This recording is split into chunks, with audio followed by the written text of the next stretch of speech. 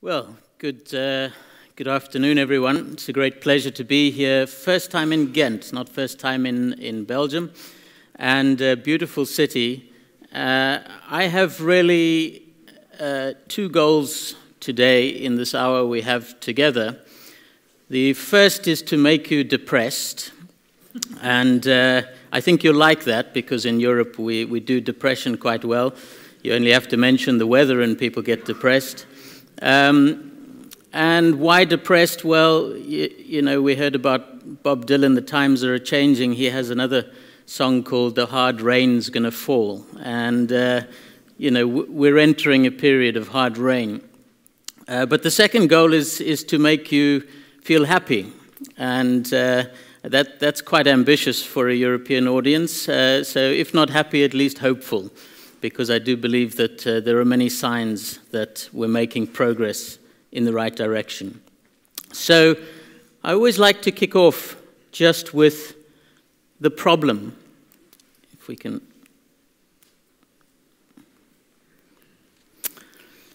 This is the dilemma that we face as a global society, and I'll explain it to you very briefly. On the vertical axis here, we have the ecological footprint of the countries of the world. And in 1961, all the countries below this red line were countries living within the capacity of one planet. By 2006, the capacity of the planet had halved because we're using more resources, and of course, the population is growing rapidly. And all the countries that are below that red line are mainly in Africa and Asia. The countries above that line, of course, in Europe, if we all lived the same lifestyle around the world, we would need three planets. If we all lived like Americans, we would need five planets. And if we lived like Saudi Arabians, we would need six planets. And unfortunately, planets are hard to come by and very expensive to build. So we have a problem there. On the horizontal axis here, we have the Human Development Index of the United Nations. As you know, this comprises of health, wealth, and education, and all the countries to the right of this vertical red line are countries of high human development. And it's very clear where we are aiming to get our countries. It's in this box where not a single country is. So there is no country in the world that is achieving high human development within the capacity of the planet. We've figured out how to take countries out of poverty to a high quality of life, a good standard of living, but we don't know how to do it yet without sacrificing the environmental resources on which we depend. That is the challenge for our generation to figure out this dilemma. How do we move countries who are developing still across to high human development without moving them up in their environmental impact. Maybe even more difficult, how do we move people like ourselves down in our environmental impact without us believing that we're giving up our quality of life? That is the challenge that we face as a generation. And this is the sense in which I will argue we are completely failing in our CSR agenda. We're not changing this picture one little bit. And unless we do that, we will always be just um, uh, shifting uh, chairs on the Titanic. I was going to say pissing in the wind, but I don't think, I don't think I'm allowed to say that. Uh, it's uh, not after nine in, in the evening. So, uh, what's been the business response? Well, uh, CSR. Actually, this is not a new response. We could go back 4,000 years, if you like, to the Indian Upanishads. You can find uh, some commentary on the ethics of business going all that time back. More recently, we think this is new. Well, go back to the 1870s. People like Rockefeller, uh, some of the grandfathers of philanthropy. We'll come back to him. But in the more modern sense, of course, we conceive of CSR as something like a triple bottom line. And I notice here behind me, people, planet, profit. I always think that that's missing a couple of things. The first is that it's definitely not just about profit anymore. So there is an economic component which I call value creation, which is about economic development, and economic development is much broader than just profits. And what tends to be missing, you can spot the societal and the environmental here, but there is a governance and ethics component which we must never forget about. This is the thread that must go through this triple bottom line if we're to uh, genuinely get a sustainable and responsible uh, business strategy. So, this is the basic approach we've taken, uh, in, especially in the last 20 years or so. And the question is is it really working? When I travel around uh, in the last 20 years, now to nearly 70 countries, trying to understand how business is dealing with agenda, this agenda, what I find is that they tend to fall into five stages of maturity. There are some that are still in an age of greed, quite frankly, and they have a defensive approach to CSR. It's all about compliance and risk management. And we sometimes forget that these companies are doing CSR. If we look at Enron, if we look at Lehman Brothers, ultimately they collapsed from their own cancer of greed. But Lehman Brothers even won a CSR award after it went bankrupt. Yeah? Strange as that may seem. So these are just companies that focus almost exclusively on the economics, on the shareholder return, and so employees know very clearly what their priorities are, and even though they do a little bit of CSR, maybe to keep the regulators happy and their employees happy, uh, it doesn't change the culture of the company, which is all about the financial returns. And then we know companies, many around the world, who are still stuck in an age of charity or philanthropy as an approach to CSR. And unfortunately, this is a little bit like the cartoon uh, where the CSR manager is sitting in front of his CEO, and the CEO says, Yes, yes, giving back to the community is a fine idea. Just make sure you take a lot more out first. And uh, we do tend to, to see this if we go back to Rockefeller, who we think of as the great grandfather of philanthropy because he gave away 95% of his wealth. He was the richest man in the world at the time. We forget that he was a very dodgy character. He was very unethical in his business dealings. He, uh, he ran the company Standard Oil. They controlled 70% of the US oil uh, in his time and he got involved in price fixing, collusion. He was extremely aggressive in the market. At one point, he drove 23 of his 26 competitors out of business within four months in something called the Cleveland Massacre. So we forget about all of that because, hey, he was generous at the end. And we really need to question that model of charity that says it doesn't matter how you make your money, just be generous with it at the end that is not good enough anymore. And then we get many companies who are stuck in an age of marketing with a promotional approach to CSR.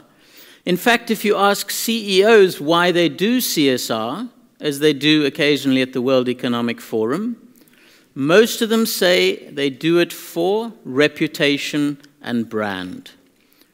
So the leaders of our biggest companies are still stuck in this stage where they think it really is just a public relations opportunity.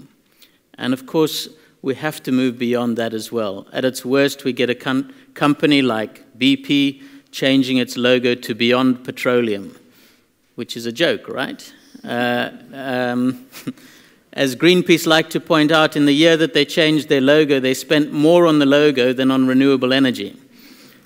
They've only spent 4% on renewable energy, and that's been going down year on year. So we really need to be careful about what claims companies are making compared to what they're delivering on the ground. And some research seems to suggest that our expectations of companies are going up in terms of what they should be delivering to society, and our perception of what they're actually delivering is going down. In other words, the gap is widening, the delivery gap. Then we get a lot of our com- companies that are big branded companies, and we think of them as leaders, and they're actually in an age of management. They're taking a strategic approach to CSR. So we take an example here of Coca Cola. They got into trouble in the district of Kerala in India because they were accused of stealing the water.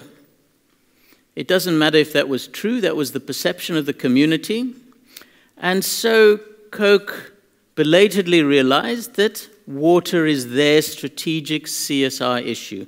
And they aligned that issue going forward with their activities so that they invested huge amounts in improving their own water efficiency and helping the communities that they work with to improve their water utilization. Notice they didn't change their strategy. All they did was align the CSR issue with their core business. And there are many companies doing that today. This is the age of codes and standards, of which by last count there are around about 450 CSR codes and standards. And we take this management systems approach as a way to tackle this agenda. Certainly better than promotional and charitable, but I argue all of these four approaches are the old way of doing things. These are the very approaches that have failed to change that first chart. And we actually have more CSR than ever before. Compared to when I started out 20 years ago, you know, it's like chalk and cheese. Companies are doing more than ever before, but are they achieving more than ever before when you compare it to the size and the scale of the issues? So I'm calling for something which I call transformative CSR or CSR 2.0. I don't really mind what label we give these things. Let's understand then why these other approaches are failing. The first is that they tend to promote an incremental approach. When you get on to management systems, this is the typical quality management system cycle plan, do, check, act. Anyone who knows ISO 9000 will be very familiar with this. And we've built 14,000 on this, and now even ISO 26000 on a similar principle. And actually, we do get continuous improvement from this, but what's the problem? Who's setting the objectives and targets that you put into a management system? The management. So you can be as unambitious as you like. In theory, you could be the most polluting company in the world, set a target of reducing your pollution by 1% over the next 100 years, and you could get these codes and standards. So we have a problem here of a, a, disconnect between the size and scale of the issues, which, by the way, many of which are getting worse very rapidly. If we look at climate change, if we look at biodiversity loss, if we look at the gap between rich and poor, these are getting worse, not better. And this approach, although it creates gradual incremental improvements, just isn't up to the task. The second problem and I like to pick on the tobacco industry here because they're an easy target, is it tends to be peripheral, our approach to CSR. It sits on the side. I love their old adverts. Uh, you probably can't read the print, but it says, blow in her face and she'll follow you anywhere. So I've been meaning to try this, see if it still works. We don't even need to pick on the tobacco industry. In most companies, CSR is sitting on the side. It's either in a public relations or corporate affairs department or in an HR department. If you're lucky, it's in its own department, but even that tells you that it's not truly integrated. What we would really want to see is that marketing has its own understanding of CSR, finance, HR, operations, it gets completely embedded and integrated. And we're not there yet. It's also peripheral in another way it sits on the side in the sense that it only tends to apply to big branded companies. And I know that there are representatives in this room of smaller companies, which is a really great sign because, for the most part, when we talk about CSR, we're talking about the same usual suspects. But what about the hundreds of millions of SMEs in the world? If this doesn't apply to, him, to them, then we're wasting our time. The third problem with these approaches, which I call CSR 1.0, is that they tend to be uneconomic. Now, I realize that's like swearing in a forum like this because we like to say that there is a business case for CSR. And of course, we can construct a business case. But if you stand back and look at the market, the market does not consistently reward the companies that are the most sustainable and responsible. It's unfortunate, but it's true. Here I take as an extreme just one example. This is the Vice Fund in the United States. It only invests in the so called sin industries like tobacco and gambling and military and, uh, uh, and alcohol. And in fact, it completely outperforms the market. So the message is clear if you want to make money, invest in the least responsible and the least sustainable companies. And really, we have to change the market signals if we're going to make any headway in this agenda. The pricing needs to take into account the impacts that we're having on the environment and society. So, why do I talk about 1.0 and 2.0? Of course, this is a metaphor. We're talking about the difference um, between the Web 1 and the Web 2. And what is the difference? Well, when the internet was in its first incarnation, it was still at a small scale, only 45 million users by 1996. Uh, and it went to scale, so a billion users by 2006. That's the first thing that has to change. The second is that it used to be all about one way communication, companies putting their brochures online effectively. And how did it change? Well, it went to two way communication, user generated content, wikis and blogs and so on. So, at its worst, we still get that old idea of CSR, where it isn't going to scale and it's one way communication, and we call it philanthrocapitalism. This is a book, I don't know if you can read the subtitle, How the Rich Can Save the World. I think that's a disaster of an idea. And in fact, I blogged that it was a disaster of an idea, and the authors blogged back and said I was a disaster of an idea. Uh, but I haven't changed my mind. So, how does it change? Well, if we think about a different kind of book, this is uh, Radical Confessions of a Radical Industrialist. Uh, this is someone you probably all know well, Ray Anderson of Interface. And what did, what did they do differently? Well, he was the first one to admit that we really have a problem, that our industrial system is broken, and if everybody even copied the best practice at the time, we would still be unsustainable. And the first company to really commit to being truly sustainable. In 1994, when he made that commitment, he thought it would take six years. By the year 2000, they would have zero impact. He found out that it's a lot more difficult than that. But to his credit, instead of changing the goal, he changed the timeline. So now it's by 2020, they have mission zero, that they plan to have zero impact. So we'll uncover a little bit more what we mean by 2.0, but it starts to give you some idea. We can test it using five principles. The first is creativity. And unfortunately, all those codes and standards that we have today are not very good about inspiring creativity. They tend to create a compliance, tick box mentality. Let's take, by contrast, an example. This is Anurag Gupta of a company called A Little World. And this is a microbanking enterprise in India. And what they do is in the villages of India, they set somebody up as a branch, and this is a woman who sits at her kitchen table. All she has is a mobile phone and this biometric scanner.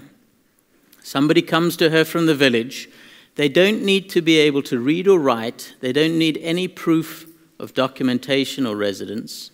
All they do is they speak the name into the mobile phone. That becomes their identity imprint. They take the fingerprints. Two days later, they have a bank account. That phone holds 50,000 records for five years. So the branch is the phone plus this one lady. That branch takes 80 US dollars a month to run. This is using entrepreneurship and creativity to solve some of the biggest problems that we have, in this case, poverty and the unbanked. We have to think differently about CSR. The second test then would be scalability. We have so many wonderful solutions, sustainable products, pilot schemes which demonstrate sustainable living, and yet they don't go to scale. And until they go to scale, the world is still heading in the wrong direction. So, how do we get to scale? Well, there, are basically two ways. The one is that companies need to start doing something called choice editing. So, what happened when Walmart belatedly woke up to the idea of sustainability? This was under the leadership of Lee Scott.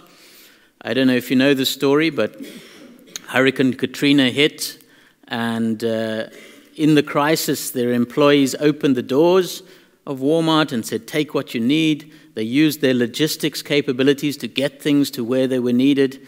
And Lee Scott could have fired those employees because they'd just given away his products. But instead, it was a wake up experience, and he thought, how could Walmart be the same company it was during that crisis every single day? And one of the ways that he figured out they could do that was to genuinely take on the sustainability message. So they set themselves three broad goals zero waste, 100% renewable energy, and make all their products uh, sustainable. Now, that's a long journey, but to their credit, one of the things they did was they said, We will no longer give customers the choice do you want unsustainable seafood or sustainable seafood? All seafood products will be Marine Stewardship Council certified. And until we get companies adopting that approach, where you're not having sustainable or fair trade as a little niche product on the side, which, by the way, you pay more for, we're not really going to get there. We have to reach scalability. The other way that you get there, of course, is government intervention. We would still be messing around with incandescent light bulbs if the EU hadn't eventually stepped in and said, we ban these now. We have a new, higher, and better standard. The third approach then is responsiveness. Can we be genuinely responsive to the needs of society? Well, I take the example of the WTO, which you're all familiar with, the World Toilet Organization. Um, this is started by Singapore entrepreneur Jack Sim. And he was hoping the World Trade Organization would sue him so that uh, he'd get lots of publicity for his cause his cause, of course, is sanitation. 2.5 billion people who still have inadequate sanitation in the world today. He says everybody loves to talk about water, nobody wants to talk about toilets. And so, what he's doing differently is he's using micro enterprises in partnership with lots of other organizations to deliver low cost, low water toilets in the communities in poor areas where they need it around the world. So he's making a business out of responding to one of the biggest challenges we still face today. And then we get locality. I heard it in the introduction. Think global, act local. Yeah? This is something which is easy to say and difficult to do. Let's take SC Johnson as an example. This is a company in the US that makes uh, cleaning products and they really got the sustainability idea. And more than that, in fact, they got the bottom of the pyramid idea. And so they went to Kenya and they said, uh, We're going to help lift you out of poverty by doing business differently. And so they said, Look, we've got this range of household cleaning products. We'll package them in small sachets, we'll sell them to you really cheaply, and uh, we'll help solve your problems. And the community said, uh, Sorry, we're not interested. And they were just stunned, you know. It turned out, well, actually, their houses were pretty clean. That wasn't the issue. The issue was their communal toilets. Ah, well, SC Johnson was just delighted because they happened to have a whole range of toilet cleaning products. And they said, We'll package it right and we'll get the price right and we'll help you out of poverty. And so the community said, sure, we'll test your products. Came back and said, we're not interested, your products don't work. And SC Johnson was stunned. They've done you know, millions on research and development. They've tested these products. what was the problem? It turns out these cleaning products don't work on mud floors and walls. So SC Johnson had to redesign the products to be appropriate for the local level. We have to get these global and local right. And finally, the test of circularity, one that you're familiar with. Uh, we have to close the loop on production. And the idea that we get to a zero waste economy is not such a dream anymore. Fuji Xerox in three plants in, in Asia, in uh, Thailand, in Japan, and in Malaysia, is reaching 98.5% recyclability of their products. So this is no longer such a dream. We have to up the standard on this one. We can't continue growing unless we close the loop. So let me take you then through the 10 forecasts that I have uh, for 2020. How is this agenda going to change? Well, the first thing is that I do believe companies will gradually move through these stages into the more transformative space. The issue at the moment is that we don't have very strong incentives to move companies beyond strategic. There is definitely a business case to get to strategic, but unless we start changing the rules of the game and putting a different kind of pressure on companies, they won't move to transformative on their own, at least not at scale. So I expect that we'll see this evolution continuing. And to give you some idea of where they need to get to uh, on transformative, what did Patagonia do differently? Well, the first thing is they stepped off the growth treadmill. So the founder said, I no longer am going to aim to be the biggest company that does outdoor clothing. I'm going to be the best company. And if that means that I don't grow next year, that's fine. So he set that expectation. The second thing that he did was he transformed an industry by doing a life cycle study of his product and finding out that cotton, which he thought was very natural and good and white and fluffy, it must be clean. No, it's extremely dirty, very chemical intensive, very water and energy intensive. So, what did he do? He committed to 100% organic cotton. At the time, there wasn't even enough organic cotton in the United States to supply just his one company. So, he transformed that whole industry. And the third thing he did differently well, he, he tried out sustainability reporting. He commissioned some consultants to produce a GRI report. They came and it all looked wonderful. And he, he came and he sat with his board. And in his words, if you'll excuse his language, he said, This is bullshit. This is not a true reflection of how my company impacts the, the, the planet and the society. And he threw it in the bin. They never published a GRI report. And instead, what they did was came up with a footprint chronicles, which measure down to the uh, life cycle, down to the product level, exactly the impact that they're having. So you can buy a pair of organic jeans, and you can know that this pair of organic jeans creates this much waste, uses this much water, puts this much carbon into the atmosphere, and by the way, traveled this distance to get to me.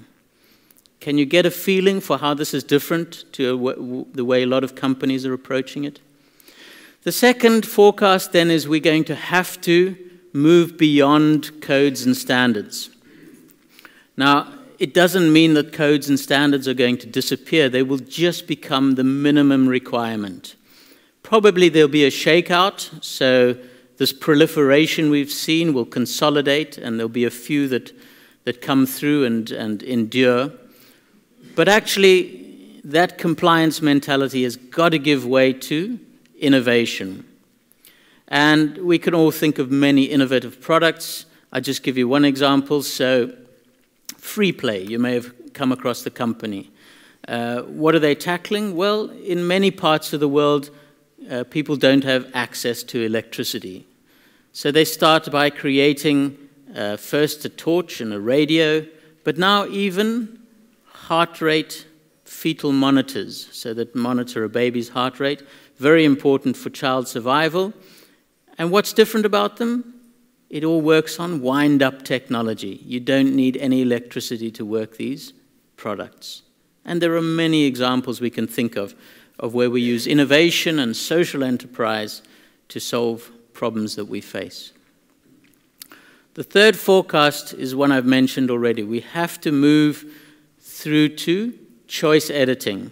This idea of the ethical consumer, as important it is as it is as a stepping stone, it is not sustainable. And I'll give you an example here. Uh, some research done in, in Australia, fair trade coffee. Very conscious people, Australians. And uh, so they put a sign in the window Fair trade coffee, no extra charge, just ask. What percentage of Australians do you think went for fair trade coffee? It was 1%. Then they changed the experiment. They prompted people, Would you like fair trade coffee, madam? And it went up to 30%. And then they changed the experiment again. They asked somebody, Would you like fair trade coffee? when somebody was standing next to them. And it went up to 70%. Can you see this is about psychology? And we're very, very conscious of this value action gap that what we say we, uh, we do is not what we really do. And so, as long as we have premium priced, responsible, and sustainable products, it will always only remain a niche. In most of these areas, we get up to about 10% of the market, if you look at fair trade, tea and coffee and organics and so on. And 10% won't cut it. We need 100%.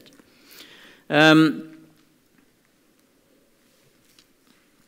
we also need to move beyond this idea of charity or sponsorships to really supporting social enterprises and partnerships. One of the things we've discovered is that Business on its own can't solve this, neither can government, and neither can civil society. So, what do you do if you're uh, a company like Rio Tinto? You dig really big holes in the ground, that's how you make your money. So, who's going to be your enemy? Well, probably the conservation organizations. So, instead of fighting with them, you get into a partnership Rio Tinto and the World Conservation Union, IUCN and you say, how do we work out this biodiversity issue together? We're not going to stop mining, you're not going to stop caring about the environment. Let's figure out how we can satisfy both of our goals. We have to think collaboratively going forward.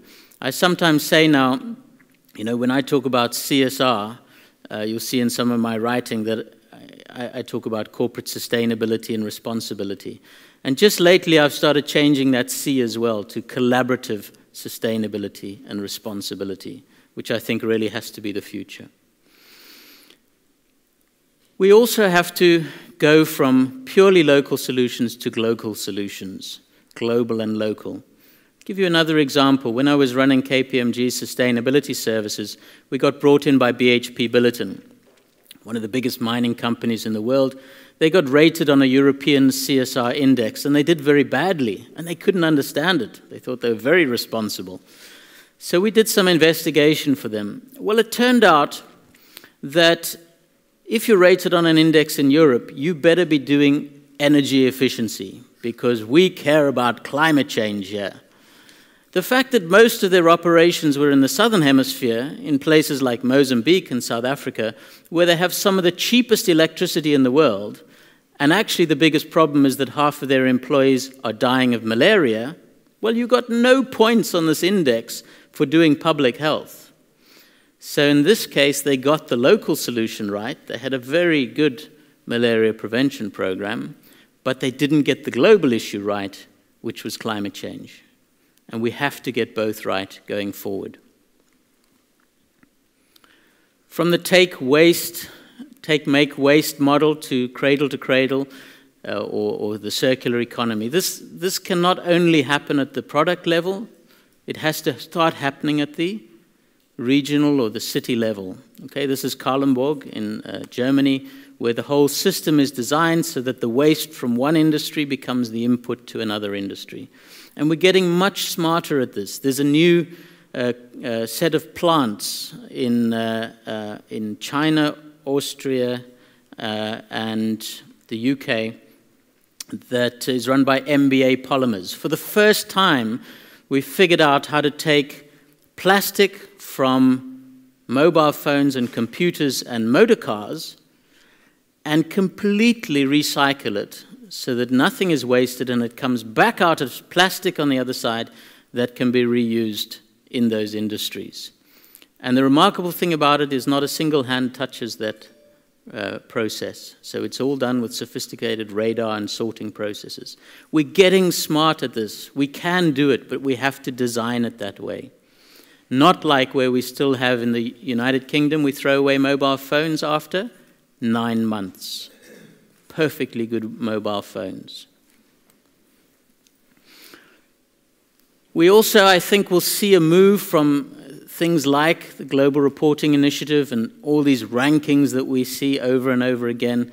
They're really problematic because if you've got 150 indicators, can you really make sense of that as a stakeholder? And if you've got a ranking and you're an analyst and the one ranking contradicts the other, can you really make sense of that? I'm not sure how useful it, it is. I remember speaking to the CSR manager for Bayer, the pharmaceutical company in China, and he said in the same week he got a prize for being one of the most sustainable companies and a prize for being the fourth most toxic company in the world. What do you do with that?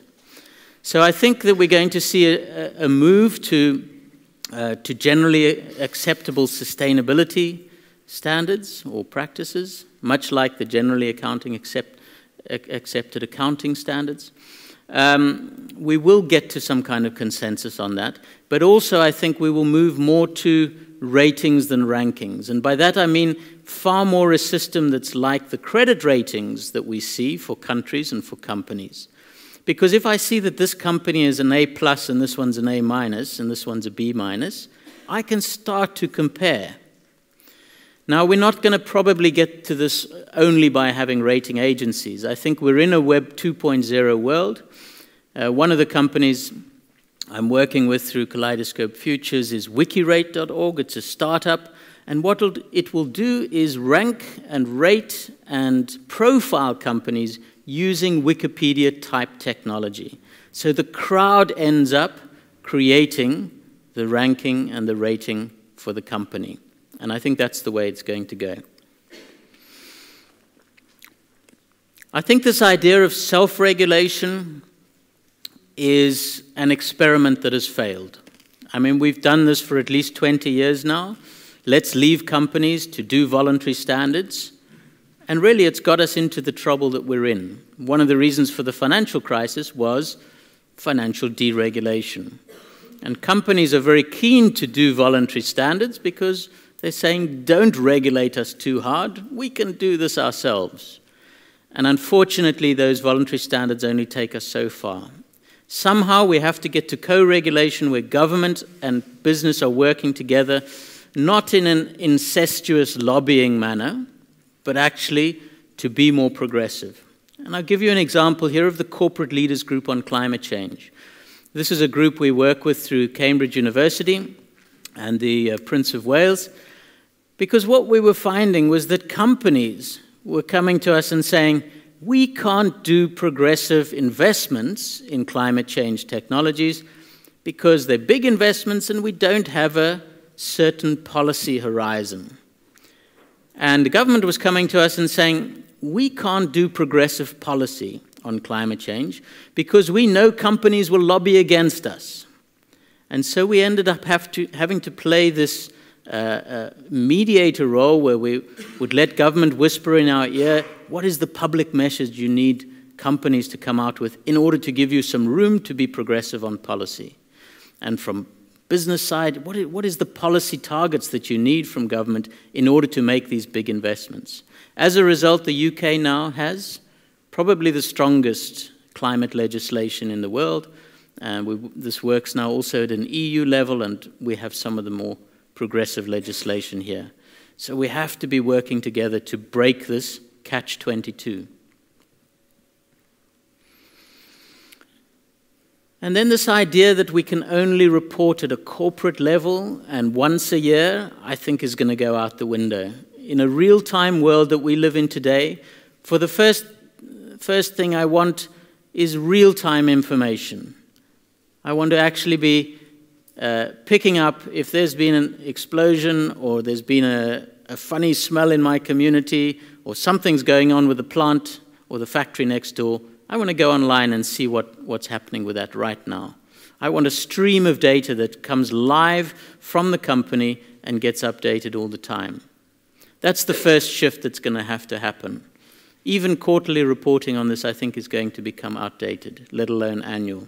The second thing is how useful is it to know all of these numbers at a corporate level? Okay, so Starbucks has this impact. Well, what's the impact here where I'm living, in my community? I think that reporting is going to have to go down to the product level. And by that I mean full life cycle impact assessments of the products and then creating an opportunity for customers to access that information at the point of sale. You're probably familiar already with Good Guide. It's a US application. On your iPhone, you scan the barcode when you're in the store. It works for some products here as well.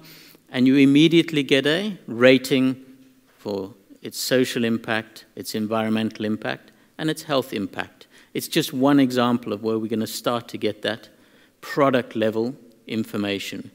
And then, of course, we're going to rely more and more on the public to whistleblow on particular products and particular companies, WikiLeaks type uh, uh, whistleblowing. Final forecast then is that uh, all of you are going to be out of a job in the next uh, 10 years. If we succeed, then uh, I think this idea of centralized CSR departments is actually going to become rather outdated. It's going to be very difficult in the future to be a CSR generalist. So, uh, having said you'll be out of a job, you'll probably just be in a different job, a more specialized job. Because what we're learning is that this is a complex agenda, and you will have to be an expert in human rights in the supply chain in China rather than a CSR expert. Or you'll have to be an expert on you know, energy efficiency in the extractives industry in Africa. So expect to be able to specialize more and more so that we can really solve these issues rather than have these general policy uh, types who sit at the head office uh, and make prescriptions. So I'm often asked then, so if, if we want to take this seriously, what do we do? And I think there are five steps. If you were to go into your office tomorrow and say, where do I start? You have to start with reassessing. You have to look at what is your real impact and not the impact that you're going to publish and that needs to look like a public relations exercise, but the real impact. What is the footprint of your company uh, or your department or your government or your city? And be honest with yourself. Uh, are you really taking away more than you're giving back? Start with that. The second is who are you in bed with? What are your partnerships? Are you only speaking to people who agree with you? Do you have a challenging NGO on your advisory board? We really have to look at collaboration as the next step. Who's going to take your organization from where it is today into a completely different world going forward? Uh, one of the things I hope that you realize is that we are going through a revolution. Uh, capitalism as it is today, the industrial system cannot survive. It is unsustainable. In fact, it's broken. And we're in the process of reinventing it. So, who is going to be the ones that can take you through that very stormy, hard rain as we go, go to the future? Third point is what does your leadership look like? Do you have somebody who's really redefining that agenda? I mentioned Ray Anderson earlier. He said when he made his announcement to become the first truly sustainable company, people said he was round the bend. And he said, Absolutely, that's my job as a leader, is to see round the bend where other people can't see. To, to make a vision for the company that takes people's breath away because they don't know how we could possibly get there. It's the same thing that people like Paul Polman are doing with Unilever. Saying that they're going to double in size, halve their environmental footprint, and help a billion people out of poverty? How are they possibly going to do that? Well, one of the things they realize is they're going to have to work in changing their customers' behavior and their suppliers' impacts. Very little of it is actually in their production. And then the redesign. So we have to innovate. If CSR has got nothing to do with your products and services, it's an old style CSR. It's got to be about reinventing the very basis for your business. Because unless we can come up with solutions to these problems through the market, it really won't go to scale. And finally, the most difficult, but perhaps the most important how do we change the rules of the game? The transformation happens when we can work with policymakers to set different rules. We sometimes forget when we talk about Adam Smith's invisible hand of the market. You know, today the invisible hand seems to spend a lot of time pleasuring itself. But actually, Adam Smith was a moral philosopher. He wrote a book called The Moral Sentiments of the Market. He assumed a set of rules. And we have to get back to that, that situation where we have a framework that incentivizes the right behavior. Well, I'd like to end on a, a, cartoon and then a final comment. Uh, so, one of you here, uh, I expect uh, uh a question. One of you, what if it's a big hoax, like a, it's a joke, this CSR stuff, and we create a better world for nothing? Yeah, and that doesn't make any sense. So, I realize we're all in this room because we're trying to make a difference, we're trying to create a better world.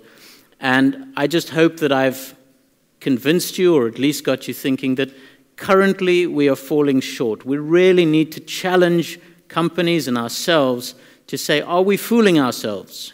We're doing more than ever before, we can measure more than ever before, but let's look at the impacts. Are things getting better or worse on the ground? And let's try and make that agenda come together. As I was walking around Ghent yesterday, I saw one of these. And I kind of got thinking last night is this the future of CSR? We need to make a really long journey. CSR is a, uh, is a journey of a thousand miles. I think a lot of sustainability and CSR is like this at the moment. It's people throwing their, uh, their boots up on the wire, and it's kind of fun, and it's, it's, uh, attracts some attention, and maybe it even creates a trend, you know, and lots of people throw their boots up there. But actually, we need the boots on our feet. We need everybody to be wearing those sustainability boots and making the uh, long journey. It's not going to be necessarily glamorous, but uh, we need to be in it for the long haul. We are changing capitalism. We are going through the next industrial revolution. The only question for us, for you and I in this room, is which side of history are we going to be on? That's the choice, and that's the answer that we have to come up with for ourselves. Thank you.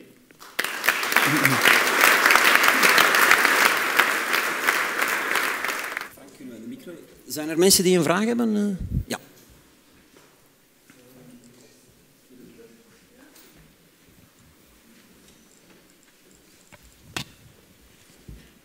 Yes, I, I will. Yeah, I will ask my question in English and Thank present you. myself. Uh, my name is Luc Bonte. I'm chairman of Entrepreneurs for Entrepreneurs. And that's an organization that brings together NGOs and business to develop sustainable projects in the South. So sustainability is very high on our agenda. But during all the discussions that we have with NGOs, with business, there is a confusion. And um, I'm afraid this confusion also is here in this room. You started your presentation by speaking about sustainable development. And from sustainable development, you come to sustainable business, sustainable entrepreneurship. Why then are we using the term corporate social responsibility? Is there a difference?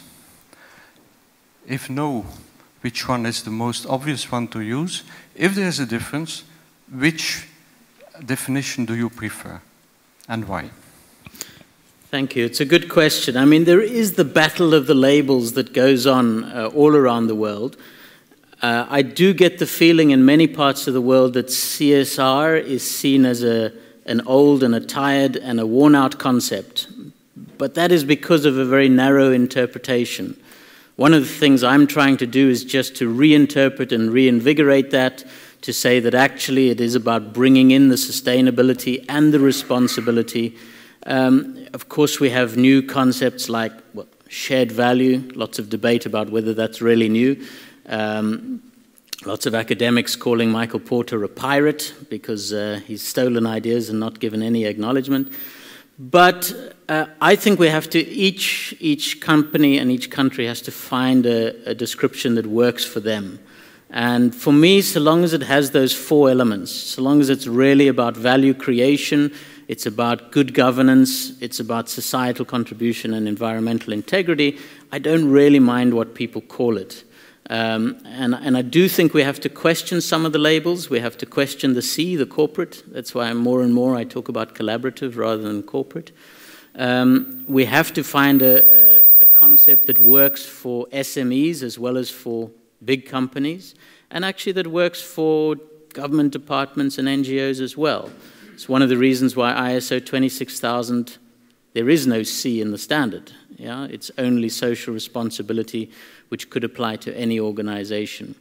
Um, so I, I, don't think we've solved that problem about what to call it, uh, but I, I, do think that bringing together those four strands and not forgetting the governance, which is the values strand as well, uh, at least we start to get on the same page uh, about what we're talking about. Maybe just, um, I do not want to steal much time, but just um, a remark that I forgot to mention. Uh, you spoke about Ray Anderson. Now, if you read the book of Ray Anderson, um, his initiative started from the idea I have to develop a sustainable business. And at a given moment, he also uses the rather shocking word saying, nobody else can do it except we, the business. Mm. It's not the church, it's not the universities, it's not the government, which is quite shocking. And, and many people forget that he was saying this. And I think this comes from the kind of um, a distrust that exists between society and business. Yep. It's a well earned distrust, I would say. I mean, I think that uh, companies have given us lots of reasons to distrust them. Um, and I think one of the things that uh, even Interface has learned on that journey since 1994 is that actually they can't do it on their own. Uh, so the collaborative mode, I think, has become far more important because these problems are big and complex.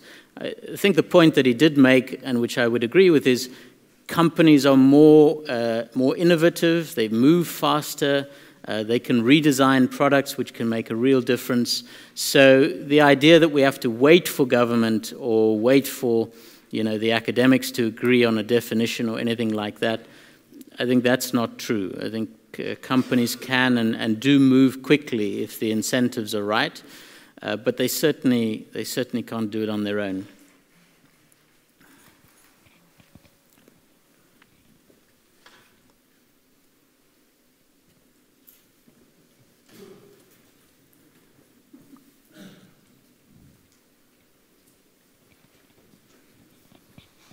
Hello, my name is Damien Dalmagne. Uh, the question I want to ask is uh, regarding the five levels you described. Don't you think that to really get at the heart of CSR 2.0, which is level five, businesses have to, to question the, the way they organize their own business model? Everything so far from level one to four is around the business model. Yeah. It, doesn't, it doesn't get into the gist of what is the type of business I do mm -hmm. and how do I get paid and and uh, how do I make my money out of that business? And most of existing businesses are intrinsically uh, biased so that because they, they're uh, structured in terms of volume, the growth comes from volume, by design, the only way to grow is to have more of, and therefore requiring more resources, putting more pressure on work and so on don't you think that the actual way to tackle that, to get to that level five, is by questioning the business models, just like, for example, the functional economy is trying to do? Yeah, uh, absolutely. I think it's one of the reasons why it's so difficult to get to transformative. You know, transformation means changing your business model. And all the incentives, uh, you know, get companies as far as strategic because they don't actually have to change necessarily what they do and how they do it. Uh, they align a few things, they have a few codes and standards. Uh, how do you change to a completely different basis of, of uh, you know, the way we conceive capitalism and, and industry?